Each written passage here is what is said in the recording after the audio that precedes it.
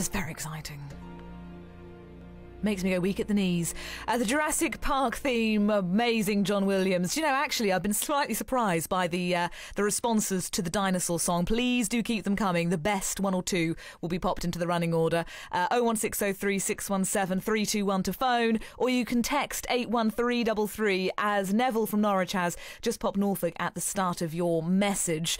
Uh, now, for those of you who love Jurassic Park and who felt all unnecessary at that bit of John Williams, you've probably been uh, watching watching this and listening to this with a certain amount of excitement. We have learned more in the past decade from genetics than a century of digging up bones. A whole new frontier has opened up. We have our first genetically modified hybrid. We just went and made a new dinosaur? Probably not a good idea. Probably not. Uh, but those of us who love Jurassic Park are very excited about it. And for some people who've probably been fans of the film since Jurassic Park and Lost World, and we can probably forget the third one that no one really watched, uh, but those films, a common fantasy that you could be somehow involved with the movie franchise, and it's gone and happened for Jack Ewins. Hello, Jack. Hello, how are you doing? I'm doing pretty well, but probably not quite as well as you. yeah, it's, uh, it's very strange at the moment. Um, even though it's all now coming to an end, it's uh, it's been a very strange year. so, first of all, I think you were on the line for just a bit of the Jurassic Park music. Does that awaken certain feelings for you? Oh, it does. It, it does uh, get you all emotional. I don't know anyone out there who doesn't listen to that theme tune and, and not love it. Um, yeah, it's just a classic theme tune, and John Williams nailed it. And I don't know how old you are, but were those films a big part of your life when you were young? Well, uh, my mum actually took me to see the first film when I was four years old, uh, the, at the Hollywood Cinema Lowestoft on the seafront. And uh, I remember seeing the scene where the T Rex was chasing the Jeep, and it just blew my mind. That's the only thing I can actually remember because I was so young. Um, and ever since then, I've just been a huge fan of the franchise. I think for most four year olds, it would do more than blow your mind. I think probably give you nightmares for several weeks. In fact, I was older than that, and I wasn't allowed to see Jurassic Park in case it frightened me. Yeah, yeah. I mean, I I don't want to speak ill of my mum here, but she let me watch things like Alien and all that sort of stuff when I was really little. Go, and mum! I was I was more inspired uh, by what I was watching than scared. For some reason, it never really bothered me. I was more scared by Who Framed Roger Rabbit uh, when I was younger, uh, the cartoons. But the, the realistic looking things never really frightened me. But um, yeah, definitely uh, inspired me to become a storyteller, and that's something I'm gunning frantically towards right now. So, what exactly happened in relation to the latest film, the Jurassic World release, which is now worryingly 20 years on from that original film? Uh, what do you mean? How did it all begin? Well, for you. Yeah. Um, well, for me, I watched the films and I was inspired by those, and uh, been a because they were like my Star Wars. Essentially, it was a big event movie, and uh, been loyal to it ever since I was little. And uh, since the advent of social media on the internet, I was getting to know other fans. And uh, a gentleman called Timothy Glover, who lives in Australia, approached me last uh, no December 2013, I think, to make a website uh, based off a leaked character's name from the film, the new one. And we built this website that was sort of emulating the fictional company.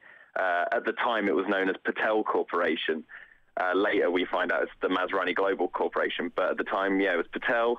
Jurassic Park 4 was coming out, and we made this website just for a bit of fun.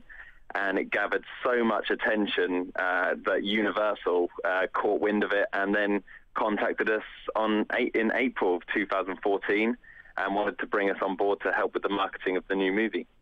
Now, first of all, building a website is, as many people know, not that easy. That's why we often get other people to build and look after our websites. Did you have a lot of experience in that field?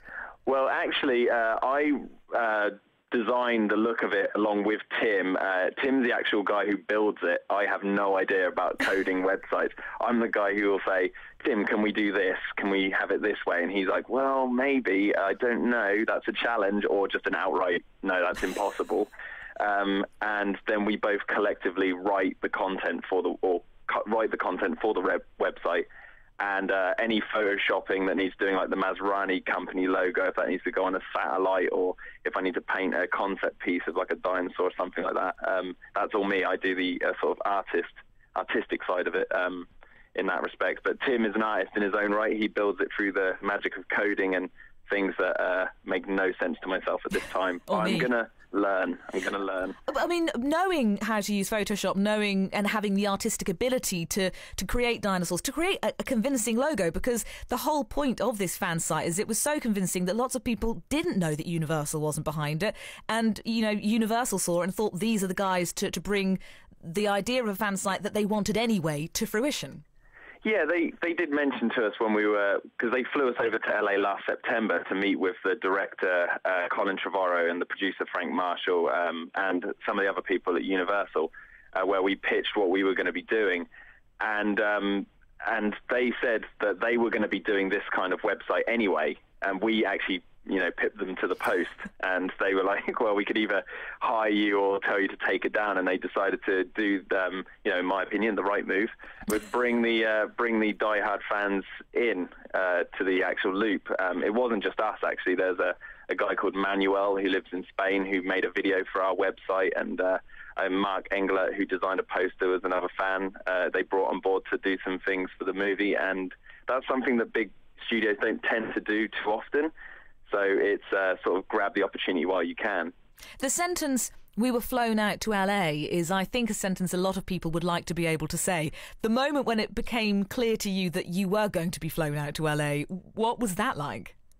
Um, it was one of those things where well, it's like a dream come true, really. I can, I'm still trying to uh, believe it myself because I was just in LA the other week for the premiere. So you got to go to the premiere. Come down from it at the moment. what on earth was it like going to a proper Hollywood movie premiere?